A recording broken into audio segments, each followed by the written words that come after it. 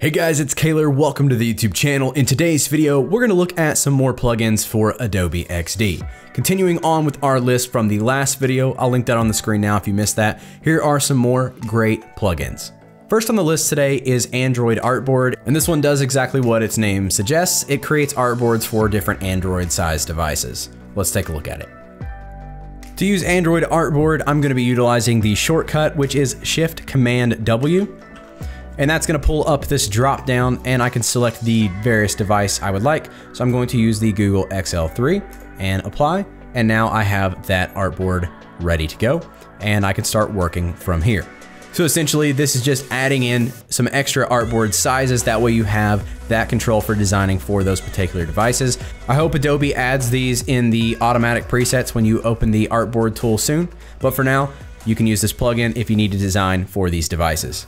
This next one is swap fill and border, and this is just a option to swap the fill and border really quickly on an element. For swap and fill border, I'm gonna stick again with the shortcut, but again, you can always go to the plugins panel.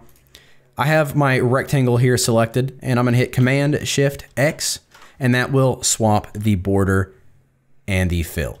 Up next is Quick Mockup, and this one's similar to using a wireframing UI kit, except it's built into the plugins panel. So let's check it out.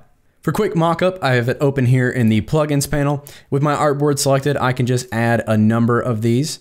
So I'm added a button. Let's also add a floating action. And we'll go with a image.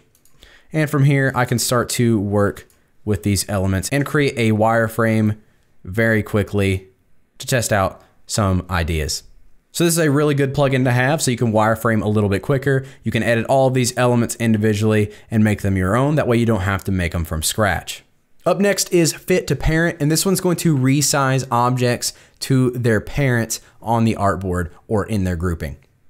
For Fit to Parent, I can simply select any element inside of a group or on an artboard, go to Fit to Parent, and then I can select whichever one I would like. I'm gonna select the width and height, and it will fill just like that. This also works when you have multiple elements selected. So I'm gonna grab these two and let's just do the width. And if your element is not in a grouping, its parent will be the artboard. So I can fit that to the artboard width or the height just like that. And last up on today's list is UI logos. This one's going to allow you to create some dummy logos for your wireframes and your designs. So UI logos is going to allow me to select any element like this rectangle and I can generate a black logo to fit my wireframe theme. And here I can do with this what I would like and use this in my design, or I can go with a color logo. You can even do country flags.